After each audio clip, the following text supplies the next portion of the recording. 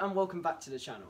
Today we're going to be revisiting an old project which is using coffee to stain a bowl.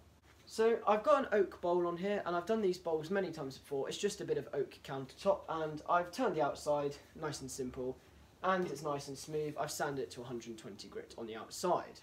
And now there's a couple of little dents and chips out of this blank because it is a piece of oak countertop. They're never perfect but it's good enough for this. So what we're going to do is I've got a couple of packs of instant coffee that I had, so I'm going to mix those up really, really strong, and we're going to paint the outside. We'll then let it sit for about 10 minutes. It happens to be about 30 degrees in the workshop, 32 degrees, something like that. It's about 30 degrees outside, so it's very warm, and I don't think we'll have trouble waiting for the coffee to dry. So it's quite an interesting project, this. I really enjoy doing things like this, experimenting with colour and textures and things like that. So what we'll do is we'll apply a layer of coffee to the outside, let it dry, wait, hollow the inside, apply a layer of coffee, wait, keep doing, repeating that process over and over until we have a finish that looks good. I love using coffee for projects, it smells amazing and it looks really cool. So let's get going. I figured there wasn't much point showing you how to turn the outside of a bowl, I've done it many times before, and you can see it on my channel if you want to. Now this is what I meant, there's a little bit here, uh, chip out there, there's a small chip here, one there, and it's where some of these glue ups are with these sort of um, pieces here. You can see where they've intertwined them there. You can see the lines. Um, it's fine. Doesn't really matter for this purpose. The coffee will hide it anyway. Um, and then we'll eventually part this off the lathe. But for now, what we're going to do is we'll put some coffee on the outside. So I've got some packets of instant coffee. I have no idea where I got these from, but we're going to use them up. So we're just going to tear open one. And we're going to pour the coffee into some boiling water that I've just boiled. We want to make sure we get all of the coffee into there. And ideally something to stir it with, so I'll just find something.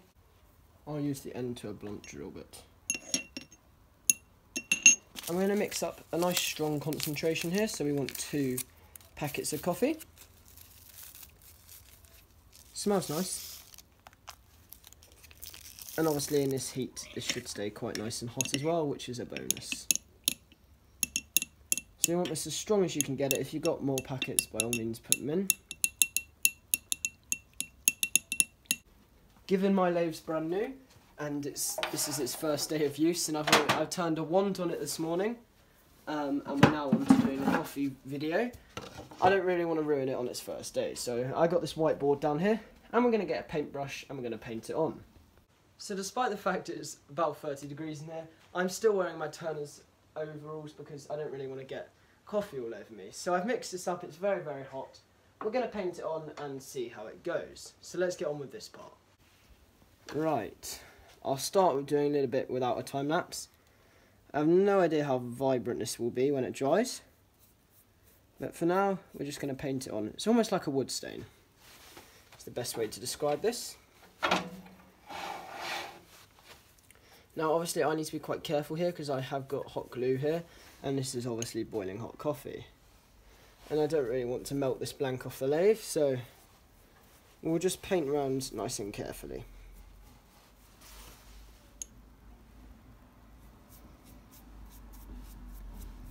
And as you can see it's going on quite nicely at the moment.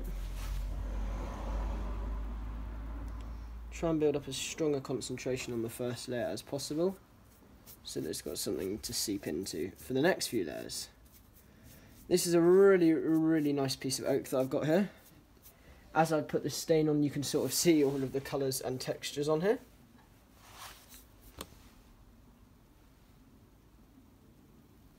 I kept adding coffee stain just to build up a really nice depth to the piece as I wanted it to appear quite dark and show the wood grain but also show the depth of the coffee and I really think I achieved that quite nicely by applying about 6 or 7 coats of the coffee and it was really important to do this before hollowing out the interior to ensure that it didn't warp or bend.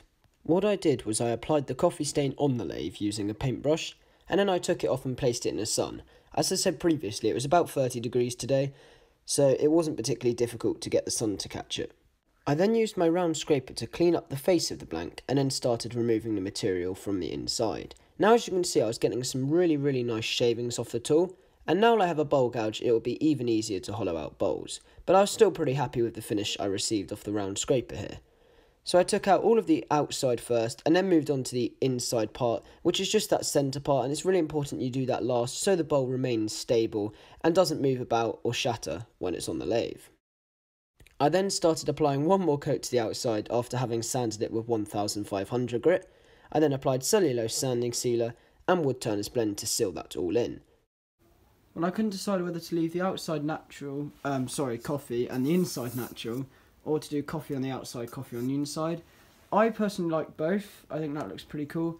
But on Instagram, I did a poll, and everyone, 100% of people thus far, I mean, I've only had the poll up about 30 minutes, so only some people have responded to it so far, but everyone seems to think I should do coffee on the inside, so we're going to do it. What I think I will do is do a slightly um, smaller coat on the inside than I did on the outside, as I think that will add some nice contrast and still show the fact that it is wood. I think it's quite cool though being able to use something like um, coffee and stain wood with it. I think it looks really cool personally. I mean, it's not a new technique, but it looks cool nonetheless, and I wanted to try it. So what I'm doing is just getting a nice even coverage.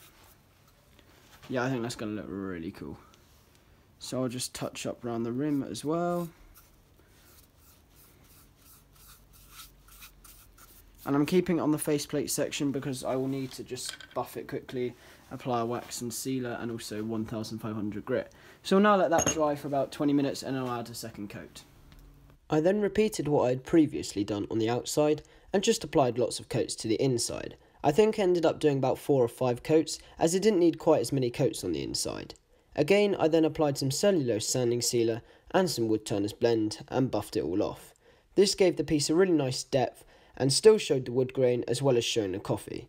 I then took it off the lathe, parting away the hot glue, cleaning it up with a sharp chisel, and then I sanded the bottom and applied some cellulose sanding sealer. Thank you very much for watching this video. I really hope you enjoyed it. I had an absolute blast making this project.